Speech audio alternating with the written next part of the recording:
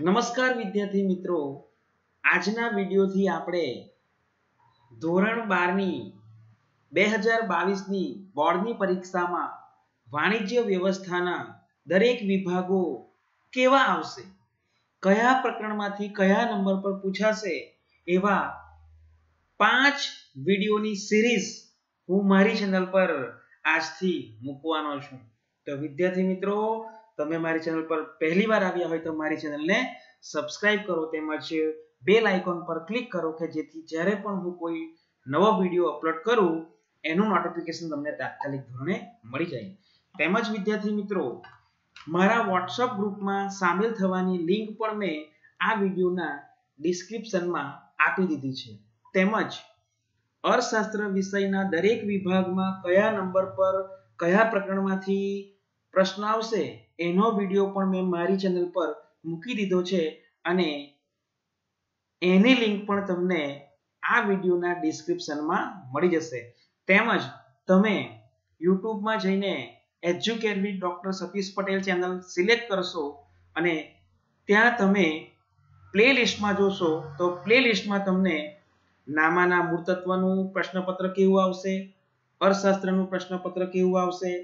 આંકડાશાસ્ત્રનું પ્રશ્નપત્ર કેવું આવશે એના પ્લે લિસ્ટ મેં બનાવી દીધી છે અને એ પ્લે લિસ્ટમાંથી તમને દરેક વિષયના બધા વીડિયો એક સાથે જોવા મળશે અને જે તમને ઉપયોગી સાબિત થશે. ચાલો તો વિદ્યાર્થી મિત્રો, આજના વિડીયોમાં આપણે એપ્રિલ બે હજાર બાવીસની બોર્ડની પરીક્ષામાં વાણિજ્ય વ્યવસ્થા વિષયમાં વિભાગ એ કેવો આવશે એની સમજૂતી મેળવી તો વિભાગ એ. પ્રશ્ન નંબર એક થી વીસ.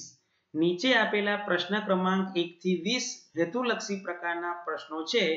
આપેલા ચાર વિકલ્પો એબીસીડી પૈકી સાચો વિકલ્પ પસંદ કરી જવાબ લખો દરેકના એક ગુણ. એટલે કુલ વિભાગ એ વીસ ગુણનો છે અને એક થી વીસ નંબરના પ્રશ્નો આવવાના છે. અને વિભાગ એમાં તમને કોઈ ઓપ્શન મળવાનો નથી. વીસે વીસ પ્રશ્નોના જવાબ તમારે લખવાના રહેશે.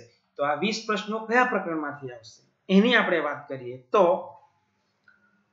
પ્રશ્ન નંબર એક, બે અને ત્રણ. એટલે પહેલો, બીજો અને ત્રીજો નંબરનો પ્રશ્ન પ્રકરણ નંબર એક સંચાલનનું સ્વરૂપ અને મહત્વ પ્રકરણમાંથી આવશે એટલે ત્રણ ગુણ. ત્યાર પછી ચોથા નંબરનો પ્રશ્ન પ્રકરણ નંબર બે સંચાલનના સિદ્ધાંતોમાંથી એક ગુણનો આવશે. ત્યાર પછી પાંચમા અને છઠ્ઠા નંબરનો પ્રશ્ન પ્રકરણ નંબર ત્રણ આયોજનમાંથી આવશે એટલે બે ગુણ. ત્યાર પછી સાત અને સાતમા નંબરનો પ્રશ્ન પ્રકરણ નંબર પાંચ કર્મચારી વ્યવસ્થામાંથી એક ગુણનો આવશે. ત્યાર પછી આઠમા નંબરનો પ્રશ્ન પ્રકરણ નંબર છ દોરવણીમાંથી એક ગુણનો આવશે. ત્યાર પછી નવ અને દસ નંબરના બે પ્રશ્નો પ્રકરણ નંબર સાત અંકુશ પ્રકરણમાંથી આવશે એટલે બે ગુણ. અગિયાર અને બાર નંબરનો પ્રશ્ન પ્રકરણ નંબર આઠ નાણાકીય સંચાલનમાંથી બે ગુણના આવશે. તેર અને ચૌદ નંબરનો પ્રશ્ન પ્રકરણ નંબર નવ નાણાકીય બજારમાંથી આવશે એટલે બે ગુણ.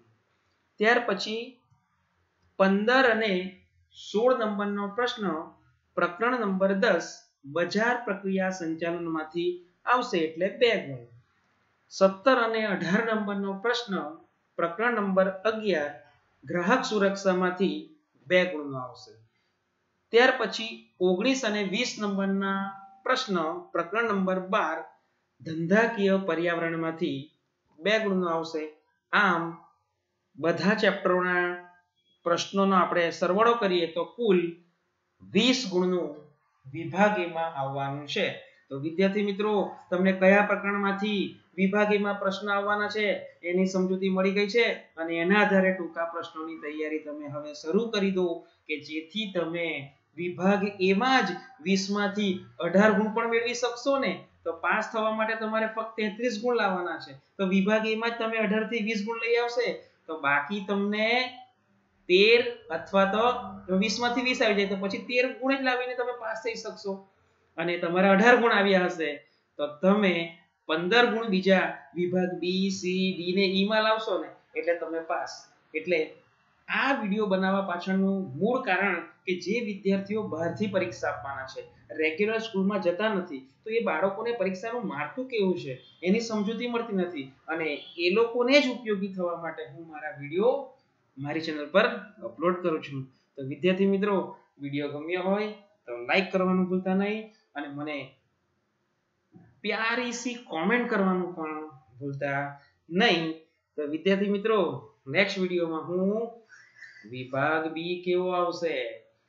એની સમજૂતીનો વીડિયો લઈને આવવાનો છું. તો વિદ્યાર્થી મિત્રો, ચેનલને સબસ્ક્રાઇબ કરી લો, બેલ આઇકોન પર ક્લિક કરી લો કે જેથી તમને વિભાગ બીનો જ્યારે પણ હું વીડિયો મૂકું, એનું નોટિફિકેશન મળી જાય અને વિભાગ બી માં કયા પ્રશ્નો, કયા નંબર પર આવશે, એની સમજૂતી મળીને તમે તૈયારી કરી શકો. તો નવો વીડિયો લઈને હું તમારી સમક્ષ ફરીથી ઉપસ્થિત થઈશ જય હિન્દ, જય ભારત.